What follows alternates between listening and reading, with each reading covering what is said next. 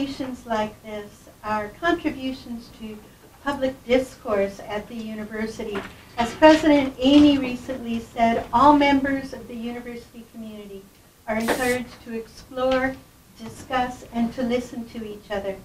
Pizza and research uh, presentations have given us wonderful opportunities to hear about current research on socially significant issues, as well as, as an opportunity to ask perhaps difficult questions in a supportive environment.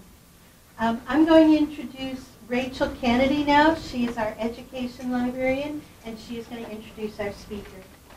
Thank you. Thank you so much, Dr. Ostroff. I appreciate that. And hi, I'm Rachel Kennedy. I'm the education librarian, as you said, and I get the distinct pleasure of introducing Dr. Claudia Garcia Louis.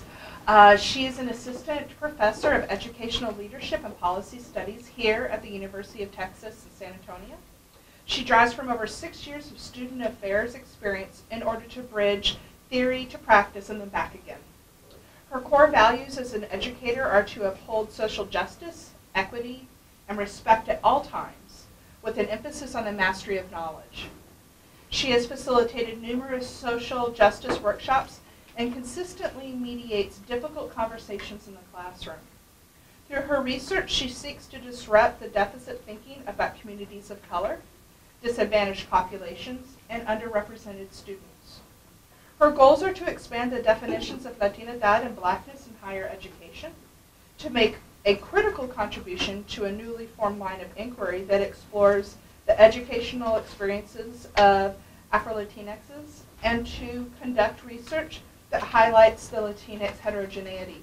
And so without further ado, I give you our wonderful speaker today. Thank you. Hello, everyone. Buenas tardes. Good afternoon. Um, it, it, warms my heart to see so much interest and to see some new faces as well. Um, this really is a labor of love and, and I'm glad to be here sharing it with you all. Um, Afro-Latinxes, navigating blackness and Latinidad in the age of Trump. I would, re- I would be remiss to not talk about what's going on in our society, social, politically, and so I think it lends itself great with this topic today. So thank you. Thanks for the invited talk. Um, it's always wonderful to be able to share this research, um, and again, it is a it is labor of love. So before I get started, um, the great uh, James Baldwin uh, was in my mind, and I saw this, and I thought this this is so timely, it's perfect because it embraces both my research interest, but then also what's going on social politically. So uh, he, he says, we can disagree and still love each other unless your disagreement is rooted in my oppression and denial of my humanity and the right to exist. And so in holding difficult conversations in my classroom, some of my students are in, in the audience today, they know that I embrace difficult conversations and it's extremely important to create a space where everyone is able to have an equitable voice. But we always uphold respect in, our class, in my classroom and we always understand that by hearing the opposition or the opposite side, we come to a common understanding. And so really, James Baldwin has inspired me and the type of research that I do and the presentation that I'm, that I'm um, presenting to you all today. So I wanted to share my researcher identity uh, because I think it's extremely important. As a researcher, I cannot disengage and leave my identity behind without, under, without um, it informing my research. And so my positionality is, and I'm immigrant, I was born in Mexico, so everything that's going on today, the caravan, we were just talking about the human caravan that's 7,000 people strong coming to the United States of people who are seeking refuge, that's real to me, right? Those are things that as a researcher I cannot leave behind, and it's deeply embedded within the types of frameworks that I bring to my research research. I'm also first gen. How many of you are first generation? Felicidades, congrats. I mean, that's, that's, you, you're here, right? And so you've been told you weren't supposed to be here, and here you are fighting the fight. And so I'm also a first gen and a mother. And so you'll talk about, I'll talk a little bit about what that means. Um, this whole social construction of race and ethnicity has always been very difficult for me. I have a pan-ethnic identity, being born in Mexico. Uh, Hispanics don't exist over there, and yet in the United States I'm called Hispanic. And so that really informed how I wanted to approach research, the type of research I wanted to conduct, and the importance of complicating the social construction of race and ethnicity. Because it has long-term consequences. I still don't know if I'm what I identify as. At one point I was told I was white and then eventually I learned that society doesn't see me as white, so of course I'm not white, right? But I still don't know what to check, so I usually just write in Mexican. This is me search, right? Research is me search. And so I was trained by researchers who said you cannot make research personal. It has to be objective. You have to leave your identities behind. But again, my students will tell you that often, uh, I always remind them, you cannot, your worldview defines who you are and how you see things, what you're attracted to, the methods that you utilize. And so, regardless of how difficult it is for all of us to acknowledge that it is not objective, even my quant friends, I'm looking at you. Uh, it, it, you can't disaggregate who you are, right? It's, it's a part of you. So this, is, this research is a labor of love, like I said before. It's also a passion of mine. I want to affect positive change. And so in my introduction, I think it's extremely important that we produce research that is real, that tells the stories of individuals, but that it has a positive effect in the long run, which is it's going to be provided through an asset-based perspective, which means that communities and, and individuals who are part of the research are going to be represented not as victims, but as individuals who also bring strength and, and, and personal cultural capital to our environment. Finally, I aspire to be a critical scholar. I, I think it's very difficult to say I'm fully there, but part of this critical scholarship is the types of methods I utilize, the language that I utilize, the type of scholarship I utilize. And so this really creates my positionality as a researcher. And I share that with you um, through radical honesty because I think it's extremely important to set the foundation and the stage for why I do the research that I do. So here are my research strands today. I will be talking about Afro-Latinxes within higher education. Uh, it is an ongoing project. It's national in scope, and you will see some of the quotes um, are from individuals at different institution types and different places around the country. Um, it is qualitative and it is phenomenological. What that means, phenomenological, it took me a really long time to be able to say that in, in public and that fast, right? Um, but what it means is that it's about stories. I sit with people and I ask them questions and they have a conversation with me. That's what phenomenology is. And it falls into two different buckets. I'm interested in the Afro-Latinx student experience as well as the Afro-Latinx professional experience within higher education. The second one is about being a Latina Mami scholar. I am a mother. I am proud of being a mother. Uh, again, I was trained in the way where they said, if you want to be a professional, you want to make a name for yourself, then you probably shouldn't have children. And so and, and I'm sure many of us have been told that. Many of us are having that conversation should I have children if I want to be a professional? And so I hold this as an emblem of identity and pride. And I, and I think it's extremely important to tell the stories of other Latina women who are also on the, on the tenure track, particularly the tenure track because we have to publish, we have to serve, we have to talk, do these types of talks. So thank you for the invitation. It'll go on my CV. Uh, but it is, an, it is a national in scope, right? And, and it's a qualitative narrative approach. So I began a Latina Mami Scholar Collective. It's a collective of women nationally um, who are young Latina women and are part of the process. Again, me search all over this, right? And it's ongoing and growing. We continue to receive inquiries about people who are interested in being part of this. The final strand is we doing all this great research, right? But what does that mean in terms of methodological um, implications? What does it mean in terms of pushing the boundaries methodologically? So I take all of my experience in doing this research and I want to affect the way research is being done um, in, in the future in the field. And so clear example is I'm not Afro-Latina, I'm mestiza, and I'm conducting research on the experiences of Afro-Latinos. What that means is I have to build rapport, but you cannot build rapport with someone um, and you can't with one sitting, right? You, you have to have a sustained experience, but it's about the essence of the experience. So phenomenology says you have to be um, talking to them um, and it has to be one-to-one, -one. it can't be focus group. And so what I did is, and this is a manuscript that I'm working on, is I'm beginning to complicate the narrative around phenomenology. I'm saying that you have an interview to build that rapport, you have a focus group, and then you have that individual interview. And it's still phenomenology, but it's changing the approach. So that's, so that's complicating methodologies because it's suited for my population. So all of these are connected. So how are they connected, right? They're asset-based research, it incorporates social justice approach. What that means is that it humanizes individuals, it humanizes the participants. I don't say they're my participants, right? But rather they're individuals who are sharing their story. So it's even it's even about the types of conversations that I have. It's extremely interdisciplinary. And that's difficult to understand, right? That within education, we expect to pull within education, but we don't get students in a vacuum. They come with their lived experiences, their professional experiences, the social pressures that are happening outside of campus are directly impacting how they feel on campus. And so it's extremely disciplinary. I pull from Latin American studies, ethnic studies, sociology, psychology, geography, um, to talk about how that impacts identity. And finally, it's critical scholarship. So, now to get into what, what Afro-Latinidad is, I have this phenomenal video that really centers and, and introduces the topic. I remember when I first discovered what black was, and people kept calling people black. I remember like black, oh he's black, oh she's black. I'm like black, they're not black, they're brown. They're dark brown, that don't make no sense. Being proud of my African roots is uh, something that I, that I don't take lightly and I embrace because it's part of who I am. Nosotros queremos un mundo que decimos que tenemos un latino unidos, pero con el mismo tiempo la, tenemos que terminar la discriminación entre nosotros los latinos.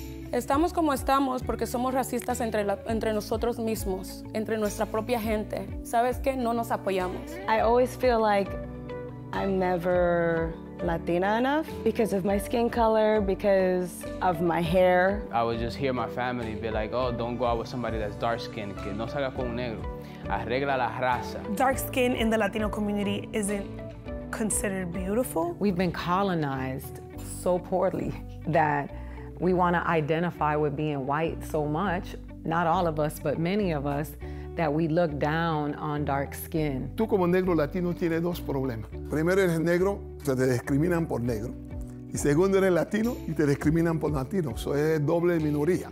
I remember when I was a kid, I looked at myself in the mirror. Y yo dije, esta nariz, estos labios que tengo yo, I'm ugly. ¿Sabes que yo era? Porque yo pensaba que yo era feo. Tuve una compañera de trabajo que me enteré que a mi espalda se expresaba de mí como mona, la mona.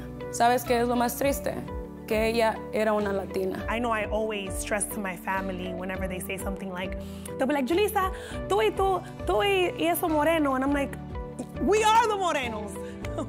That's us. Your parents are instilling in you that these European features are the most beautiful thing. The standard of beauty for them is blonde hair and blue eyes. I think there's some colorism just across the board because we've been taught that lighter skin is beautiful. Since light skin and fair skin is being portrayed on all platforms like TV and media and all of these things, it lets me know that that's what they perceive as beautiful. And then you look on TV and the telenovelas, they don't look like me, ever.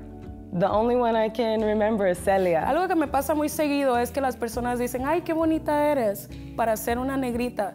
Entonces, una persona negra no puede ser bonita. Dark skin is beautiful and it has melanin in it and it doesn't age. We hate ourselves so much that we really don't understand how beautiful we are. Que yo por mi color o por lo que tú crees, tú no me vas a parar, que yo voy a triunfar.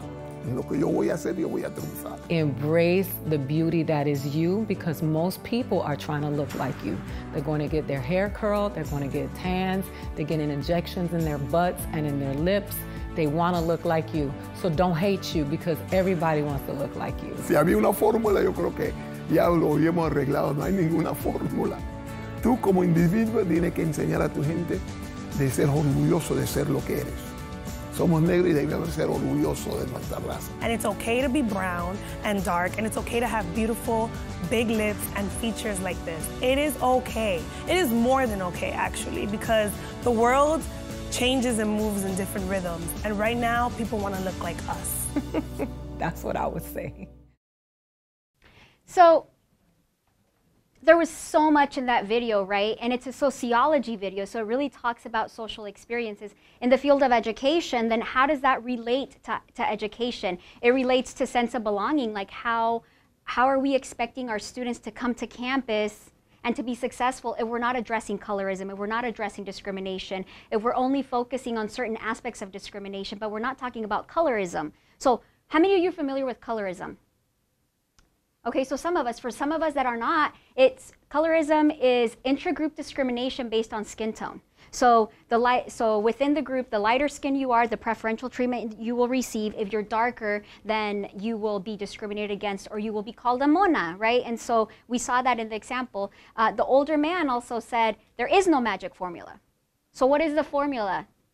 It's having conversations around what it means to be racialized. So a lot of them are being racialized. What that means is that based on your appearance, you will have an ethnic label placed upon you because of what you look like. And what that means for our students in particular, because I'm in higher education, it means that best practices that are being developed to support Latinx students are being developed to support Latinx students like myself. But that does not account for racial intergroup discrimination. And so regardless of how many best practices we develop, we will not be able to embrace and encompass light-skinned Latinos or dark-skinned Latinos. It will be, they're usually centered around mestizaje.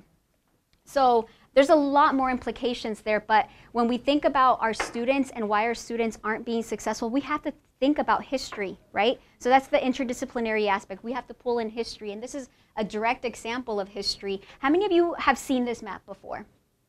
Okay, so some of you have. For some of you, this might be new, but this is a this is a transatlantic slave trade. So when people were enslaved in Africa and taken to to the Americas, uh, in the United States, we think that the world revolves around the around us, and more often than not, our education is usually U.S. education and nothing outside of U.S. education. So when we think about the transatlantic slave trade and we think about who was enslaved and brought over, we think that they all were brought to the United States, or the majority. And you'll see it's only 5%. The rest were taken to Central and South America and the Caribbean. For those Mexicano friends of mine, yes, we also have African influence within Mexico, but we, we decide to reject that aspect, right? And I'll talk a little bit about what that means. Um, but definitely within the Caribbean, the majority were brought to the Caribbean and Brazil. Brazil has a large influence of African uh, lineage. So this is not a new type of people. This is historically rooted within our history, within our land, within uh, colonization, directly embedded within. So Afro-Latinxes are not new.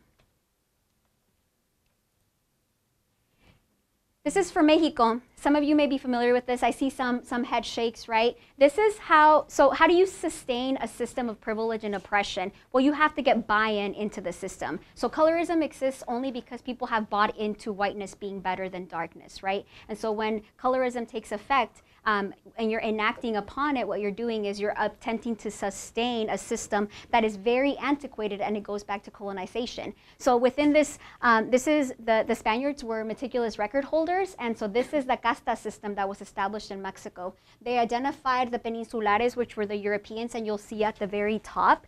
Um, and then you'll see the, the very bottom are, are black mixture. So African um, people who were enslaved and brought over. Um, and then anything in between is a mixture between Spaniards and, and, and they call them indios or indigenous peoples, all the way down to when you begin mixing with blacks. Spaniards were always at the top. What that meant was that they recognized 16 official mixtures, but within there, there was a great variety.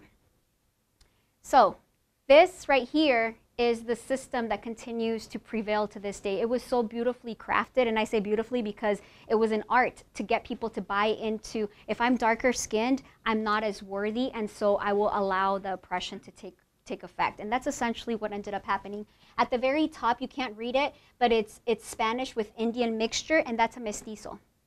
And that comes into effect in terms of what I'm about to go into next. So it is a legacy of colonization, and mestizaje really was seen as the emblem of bringing together Latin American countries um, after a lot of, so 1910, 1912, that was when a lot of Latin American countries were, were um, becoming independent. And so they needed something to bring them together, right? And so they, they, a lot of Latin American philosophers upheld this mestizaje as la raza cósmica. Jose Vasconcelos, some of you may be familiar with Jose Vasconcelos, who, who really glorified this identity of mestizaje. But what they don't tell us is that mestizaje was a Darwinian term, and what that means is that you were moving away from indigenismo, because you glorified some aspects of indigenismo, but only the good aspects, right? Like the, the Aztec calendar, and even nowadays we continue to do that, right? Like there's certain aspects of indigenismo that we like, uh, but other aspects we reject. Uh, completely erase the African lineage that existed within the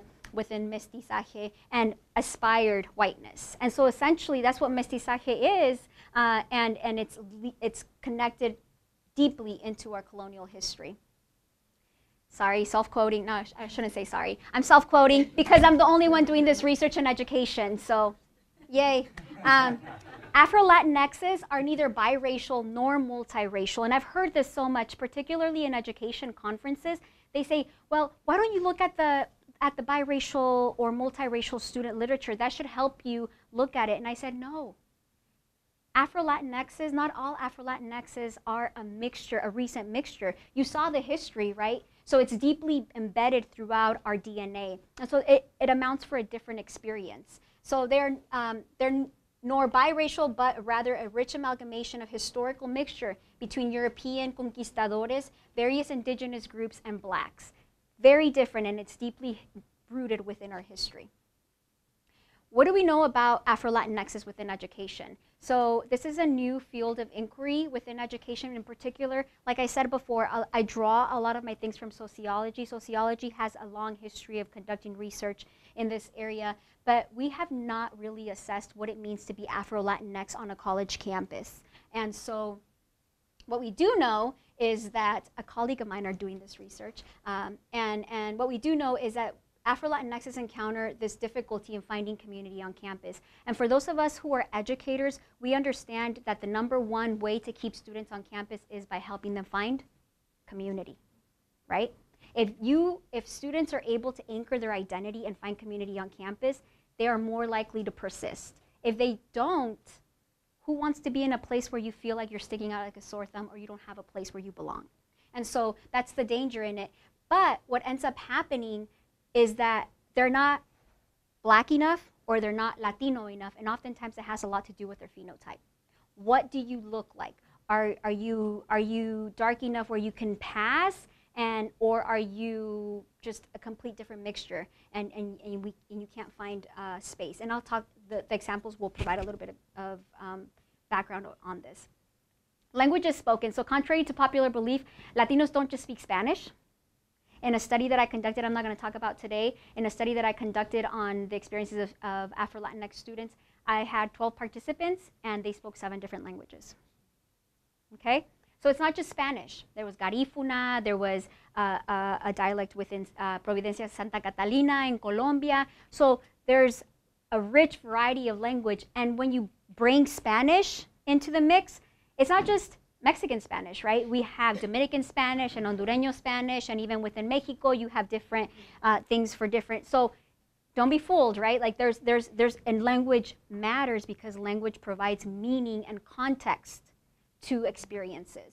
And finally, this perceived foreigner status, right? We don't know where to put you in, so you're always a foreigner. Whether you you're too dark to be a Latino, you're too you're too, uh, but you're dark and you speak Spanish, so I really don't know where to put you in. So we have this cognitive dissonance around what we perceive to be a Latinx individual and where their, their fit is, is supposed to be. They also encounter, so because of that, they encounter this difficulty in gaining group membership because of this double minority status that the man had talked about, right? Um, he, he mentioned we, we, we're, we're basically double minority, we're black and we're Latino, and so we get it double in terms of um, rejection.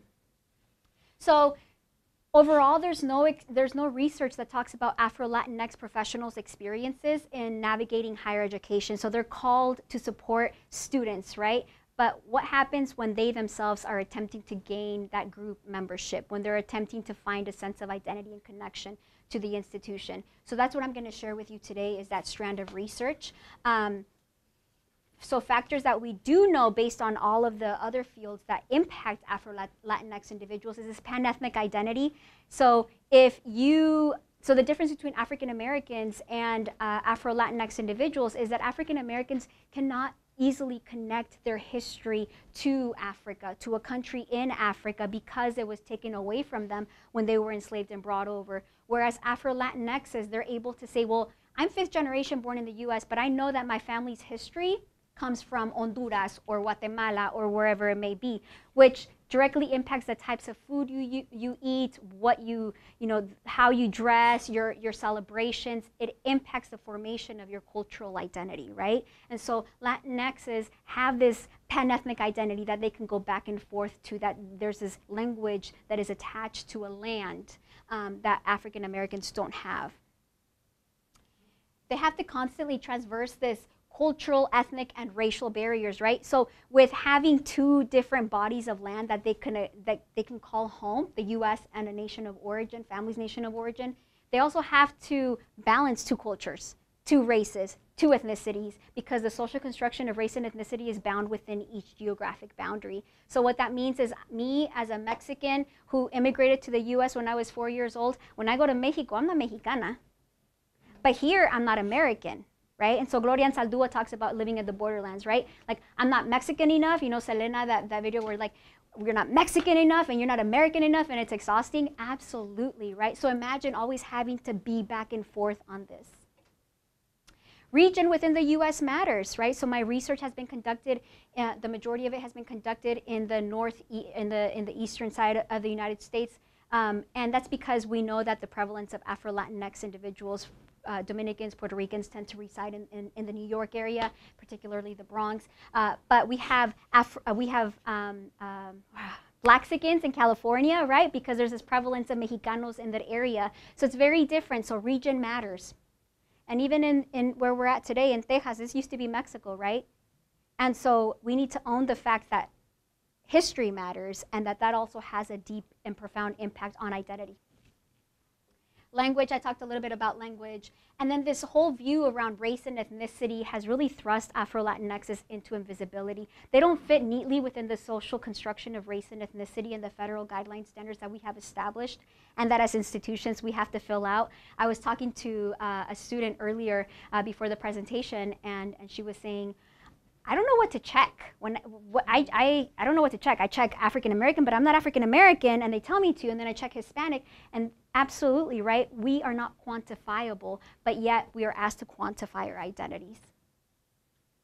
And this whole essentialistic form of Latinidad and blackness has really pushed them to choose between the two. Either you're with us or you're with them, but there's no way you can claim both because for some reason we feel that we have to only have ownership of one or the other.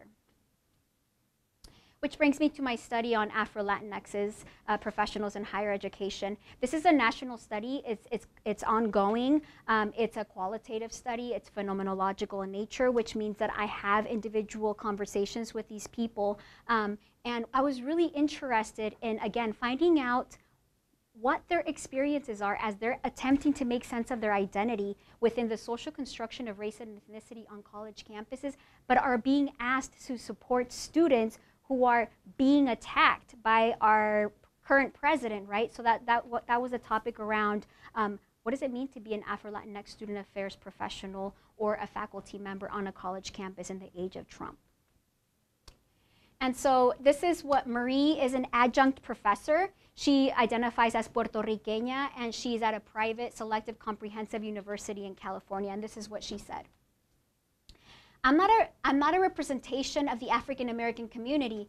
It's really difficult for me to say that I'm going to be the bridge between the black community and the Latino community. I can't. I'm really only one extra link in that connection that brings those two communities a bit closer. So what she talks about is that she's that one, right? She's the one black person and Latina person, and she's very, she speaks Spanish a lot. And so what she's asked to do is to be the representative for the African American community. What she's saying is that I'm not, I can't be. So when they have an event, what, what do you think African Americans would want? Because it's a very selective institution and it's a PWI. And so she's often having to, again, negotiate her identity. People racialize her because she's dark skinned. They say, oh, well, you must know because you're black, so you must know what all black people want. This is this this quote that um, I'm about to read talks about how she has to navigate being a faculty member in the classroom, and she teaches undergraduate students. Uh, the major, uh, uh she said about 150 in her classroom. And so remember the institution type matters, right? Um, a lot of these students um, come from affluent backgrounds, and they're also majority white students. And so this is what she says. I tell them, this is my work hair. I play with my hair. It's flat ironed, I say. This is my work here. One, it's easier. I don't have to do a whole lot, and I love to sleep. So I try to minimize work and maximize the amount of, amount of sleep I can get in the morning. I have to literally iron out as many differences as I can to pass through your defenses because the minute I walk into your space, there's a, there's a subconscious responses to me that are defensive. I need to do that. I need to do what I can to slip past that. So she's talking about the classroom being their space, right? And she works there. So she already knows that she's this perceived foreigner status, right? You're not, she's, she's not immune to it even, even though she's a faculty member. She's still very much a part of trying to make sense of her identity and find space on campus. The other aspect that she was talking about is she's trying to literally iron out differences, right?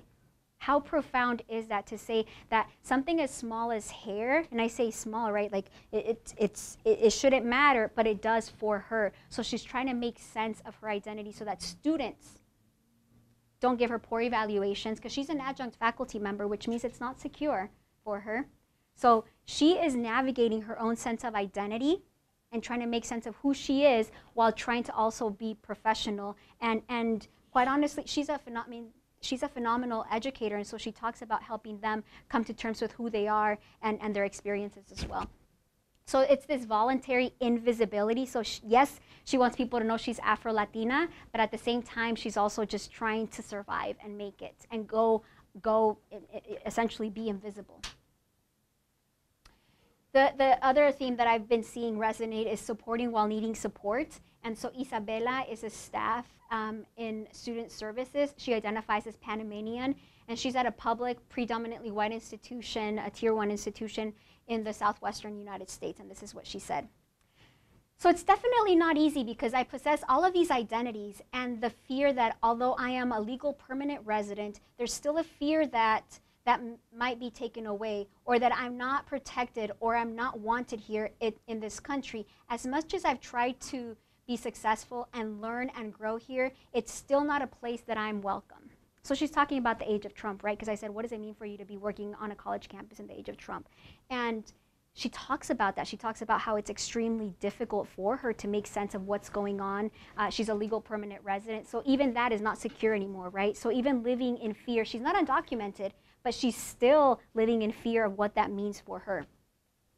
And it becomes even more complicated when she's asked to support students. So this is what she says. I definitely think about all of my identities and ways that I can identify with students that are also going through the oppression of Trump's decisions. And so it's difficult, but at the same time, it's important to find others that identify with at least one of the roles that he's kind of trying to exclude. Is this something that we want to tolerate? But finding, finding those type of communities is definitely needed to bring light to Afro-Latinidad and our experiences and how it's not easy to try to figure out that identity or to try to settle and be comfortable in that identity. So this is her navigating her spaces, right? Making sense of I'm having to make myself feel comfortable and safe on my college campus, but even though I don't know how to make myself feel comfortable, I have to find those students who are navigating these experiences and help them find a sense of support and comfort on, on a college campus. Um, we are them. So Amais is a mid-level administrator. She identifies as Garifuna Hondureña, and she works at a community college in the Pacific Northwest. I know Afro-Latinxes we're in solidarity with our Latinxes. We're in solidarity with the struggle that our Afro, that our Latinx community is going through. We're in solidarity with the struggles that our African American, Black community is going through. And what I want people to know is that we are in all of those areas. We have Afro Latinxes that are being deported. We have Afro Latinxes that are being arrested for being black, that are being beaten up, that are being detained. And so, and she mentions this because through this, she works at a community college and she supports a lot of these students who have gone through this. So she went on to talk about, I asked her, can you, can you tell me a little bit more? And she was telling me that um, when we talk about DACA students, we, we often racialize who DACA students are, and by default, they're, they're Latino. And what she's saying is that we forget about other students who are also going through the process. And she, she mentioned a student who was deported who was Afro-Latinx and whose family was looking for them. They didn't know where they were, but she, they knew that she had a connection with them. So they came to her office and she had to tell them that that student had been deported. Um, uh, she talks about um, being targeted. Her brother, who is Afro-Latinx as well, was targeted by the police um, and, and had to, and and, and was detained for, for, for a number of hours. And so she talked about how much fear that instilled in her, but how much, um, and, and so this is the resiliency part. I'm going to highlight this next quote because it's not just, they're not passive, right? There's, there's resiliency there, and I want to highlight the resiliency. She says, I think we're in an era where students are traumatized. They're hypersensitive. All my students of color, my students of color are, all of my students are hypersensitive to do to what is being said in the news and it's crisis mode. Everything from what's happening to our students with DACA to the increase in police brutality and the Black Lives Matter movement. And it's just, if I could, working in the era of Trump as an Afro Latina is exhausting because all of this affects me personally, right? I don't walk out the office and leave these identities at the desk. I walk out of the office knowing, okay, I can be pulled over today for simply being black and having to worrying about family being discriminated against for them not knowing a language, English, not being able to defend themselves, not having status, citizenship status, even residence, even being a resident is at risk now. Being a resident of the United States, not having the proper documentation, that's scary to me. It's difficult, but it's even more of a reason to be vocal. So she's extremely involved on her college campus in creating coalitions and supporting students. And so it, it comes at a cost, right? She talked about long hours at, at work. She's talked about, and we know this happens all the time, where women of color, particularly women of color, are asked to serve in diversity task forces, right? And, and how, um, but she's doing her part. So she knows and she lives in this fear, but at the same time, if she is idle, then nothing is going to get resolved. So these are prevalent, these are initial findings, right? And uh, the study is ongoing, but regardless of where they're at, I showed you the West Coast, the East Coast, and, and Central United States, the stories are the same. There's fear. There's fear around the rhetoric. There's fear around self-identifying as, as one or the other, but it's also um, this, this idea of having to, to out your identities and saying, I'm both of these, and I embrace these. Um, and so Afro Latinos are, Afro Latinx professionals are navigating, negotiating their own identity while attempting to support their students. And so as institutions, we need to understand what that means for our, our professional staff. They don't leave their identities at the desk. And when she said that, I, it, it hit home, right? It hit home for many reasons. And it's difficult to, to go home and say, well, what happened on campus, I'm just going to leave it there and I'll pick it back up. The student crisis, I'm just going to pick it up when I come back in the, into the office. We know that that doesn't happen. We know that they take these experiences with them to the house, that they're constantly trying to figure out how to support their students. the age of Trump means their multiple marginalized identities are hypervisible, which leads to a constant state of needing to protect themselves, but then also trying to take care of their students. And that's exhausting. So implications for, for educational institutions, there's this ethical and professional obligation to disaggregate Latinx ethnic group identity or uh, by race. And in, within higher education, we need to be doing that so that we can best support our students. We need to know who's on our college campuses. We need to be able to provide them the opportunity to self-identify as both black and Latino, but we are to, we're, we're called to only follow federal guidelines, which doesn't allow for us to be able to do that. And why is that important? Because once we know who's on our college campus, then we can better tailor best practices, services, and programs that are tailored for, their, for, for our students. We also need to consider the burden that Afro-Latinx professionals take with them when they are seeking belonging while also supporting our students, right? And that's extremely important. We talk about retaining our students, but we seldom talk about retaining our, our, our staff, faculty members who are also part of this population. And then finally, consider region and institution type when developing these services and programs. All of that matters, right? Community colleges are very different than four-year institutions and private institutions, but region also matters. And so there's, um, there's, a, there's a deep need for us to be able to move beyond that, to acknowledge that we need to account for these differences. To my contact information. Um, thank you so much for, for attentively paying attention.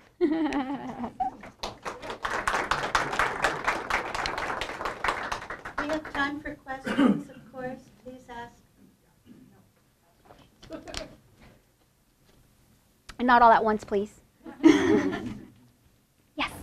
So So have you um, considered studying the impacts of not only professionals in the academic environment, but professionals in all environments of society that are expanding your research to include well, Afro-Latinx uh, professionals in all types of work environments? Yeah, that's a good question. So um, my field is within higher education, so if I want tenure, I have to stay within higher education, uh, which I do want tenure. Uh, uh, but so my, my I was just at a re, at a geography research conference, and what I found out um, was that geography is not just about physical space it's it's not just about land, right? It's about space, like claiming space in a room, in a in a in an identity. And so it was the race, education, and place conference. And what they talked about was exactly that. How do you talk about individuals and experiences without accounting for what's going on in society? How do you talk about student experiences if you don't take into these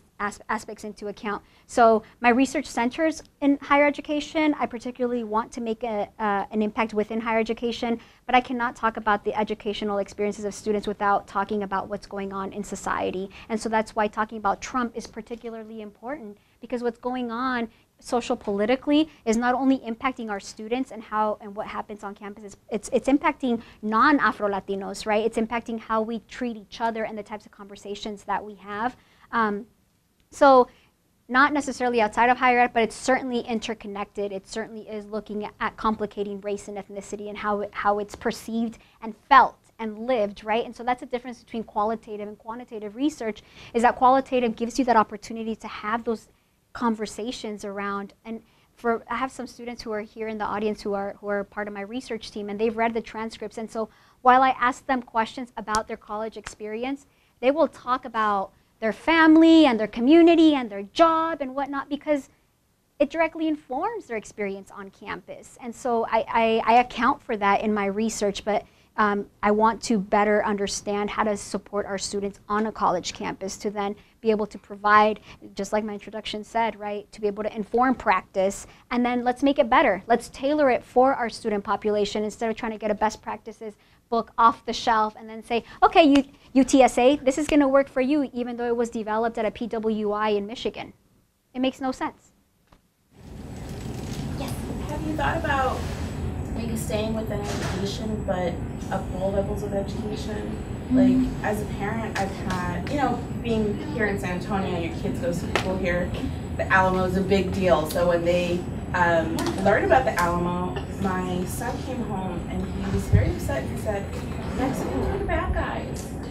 And that was really impactful for him. Yeah. Yeah. So this research is me search. And I have children who are Afro Latinos. And so I, I hear you. And so I have a daughter who's five years old. And I've been working with her on her being proud of her identity as an Afro Latina since the day she was born. So I, I, I constantly compliment on the power that she has, and I, the books that I read are always centered around that. So while we can only do so much within our, our institutions, I think that we have to empower ourselves as parents, right, to be able to have these conversations and have them um, in, in a way that our children are resilient. So yeah, it hurts, right, and we can't change the whole system, but I think it's extremely important to have those conversations with our children my sister, who was um, at the time she was a kindergartner, and I was a, a, a, so we have a huge age gap. She went. I grew up in Oregon, and so she was in kindergarten. I had taught her about Thanksgiving, right, the real history of Thanksgiving. And her teacher was saying the pilgrims were wonderful and this and that, and then she goes, "Uh-uh, they killed the indigenous peoples." and so, so what was the teacher's reaction? What was the teacher's reaction? Kimmy, you're wrong. That's not true. So what did my sister do? She said, I need to call my mom. And she was just crying and crying and crying. And so what ended up happening was that the teacher had a real conversation with the mom. So it's unfair, right? It's unfair that we have to challenge the history, the erroneous history, the censored history that is being told. But it takes a community to be able to do that. And so um, I fight my own battle with my family right? Um, in terms of what it means to be an Afro-Latina. And my daughter, I always talk about my daughter, she's extremely articulate, extremely smart. I see some head shakes because the people who know her know that. And so she, her name's Victoria, and she corrects people and she says, my name's Victoria, it's not Victoria, right? And so she's five. But not all of us are empowered to do that, right? So we think about our parents who don't have the opportunity to come to an educational institution and to have these conversations. When we think about my parents who were farm workers and who didn't have the opportunity to go to school, how do, you, how do we get that conversation to them? Well, in ELPS, we have a social justice initiative, right? Like we, as educators in the ELPS program, who are preparing college, uh, who are preparing college professionals, but then also the K-12 level, principals and superintendents, they're being challenged on what it means to call a little black girl um, uh, saying she's sassy versus intelligent. And that matters, right? So they're being taught Paulo Freire's work. They're being taught about the social construction of race and ethnicity. And so these are our educational leaders um, who are going through this program, but it takes a community. I don't know what the right answer is other than as a parent, I'm, I'm as concerned as you are. Absolutely. But then also those of us who, you know, I'm going to call out those of us who have privilege in the field and in the room. If you have privilege, then you need to use your privilege to advocate for your brothers and sisters, right? We're all in this together. So if you are white, you have to have these conversations with your white colleagues. I will never be able to be in a white circle. In a, well, in a white enclosed circle and be fully accepted, right? And so you have that up, you have not only that responsibility, but it's an ethical imperative that should be in your DNA to call each other out. And so these are the conversations that we should be having that are extremely difficult, right? Like, I, I didn't choose to be born white. No, you didn't. But with your identity comes responsibility. And so that's what we have to do. And these are hard. Like, how do you do that?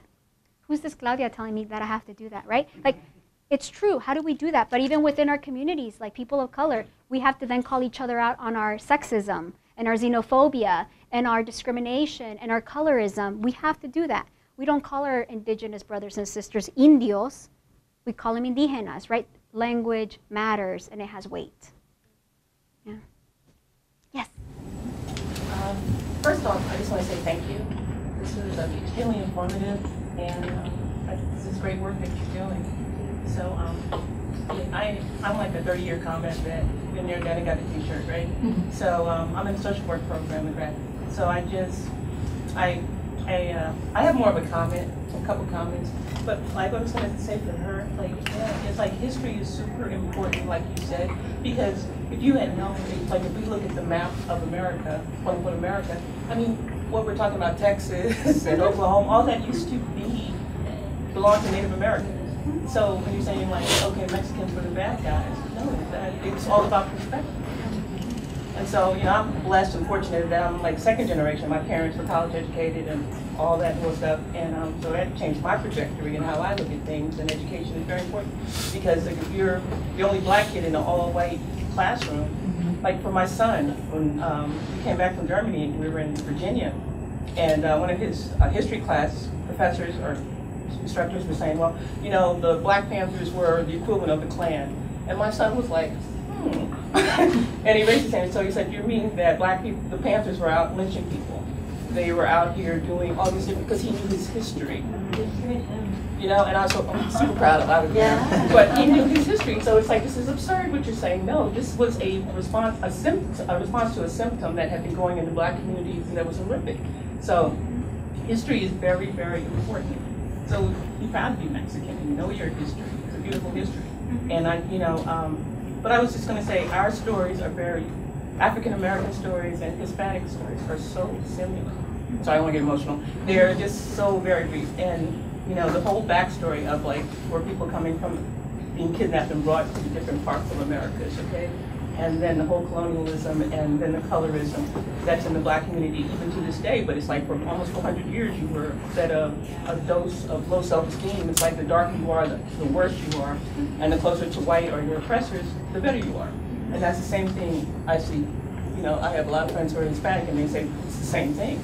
We don't talk about it out loud and it's getting better, but I mean, what is it, what's the statistic? Like how many positives do you, do you have to have to, to erase the negative? You know what I'm saying? So it's a it's a long way coming, but um, and I just want to say, when you're uh, about community on campus, that's another argument for keep historically black colleges and universities because when you're going and you're so small, such small numbers, if you don't have a good foundation, college is hard, period. but if you're like the lone wolf or only a couple of you, and then not everybody's um, monolithic, you know?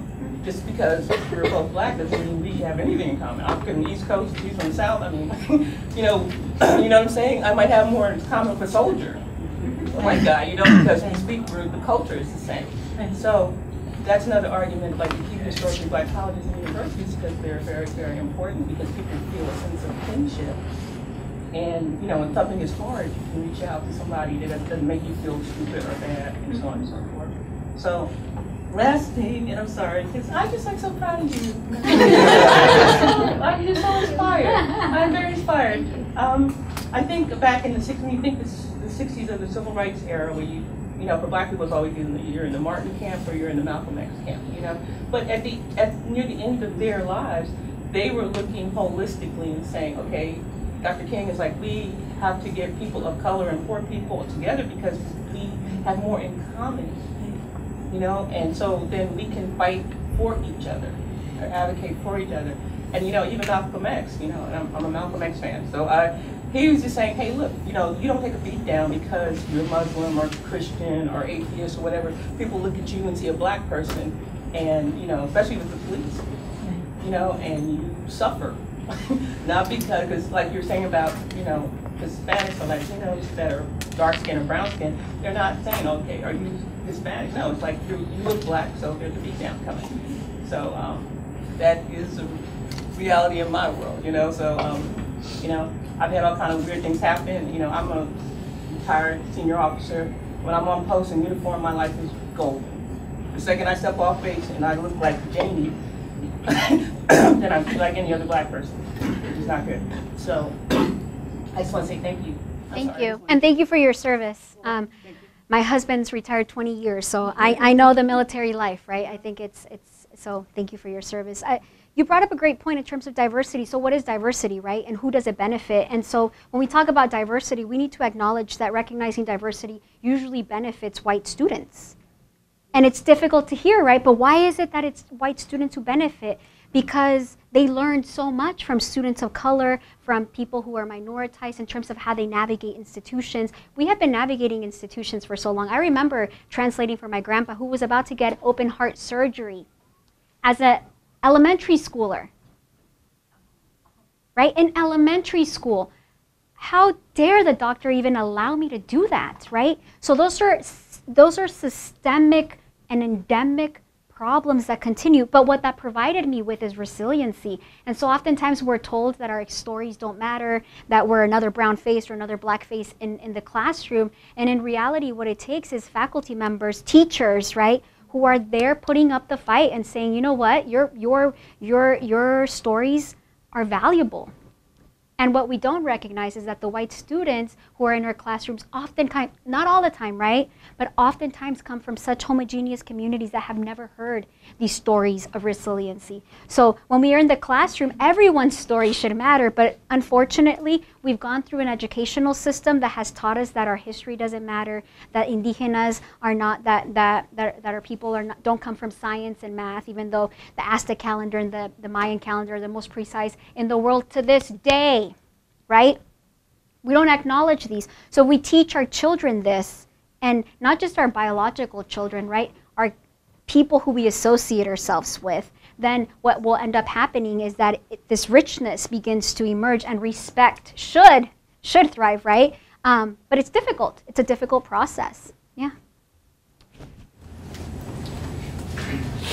Do you have a question? No, I was just going to congratulate Dr. Garcia Louis for her you know, for her work doing it. At my work, we're colleagues in the same department. My work focuses on K-12 leadership, and I think that, you know, what she speaks of is something that us as researchers and also as practitioners in the K-12 systems need to highlight and bring into our practice if we really want to address some of the issues that you presented. Because it starts at the formation of our K-12 school systems and how we kind of do blankets practices, you know, this best practices approach using from homogeneous groups where we know our communities uh, are becoming more diverse you know, with all the different intersectionalities, right? So I do want to Thank you. And thanks everyone for for your support. I have business cards over here if you're interested in um, coming onto the program or whatnot.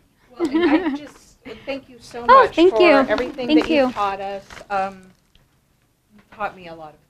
I really appreciate your Thank you. time and, and sharing your talents and sharing your knowledge Thank and your you. wisdom with us. Thank you. Um, I do highly encourage you, please, please fill these out. This is going to help us with further programming.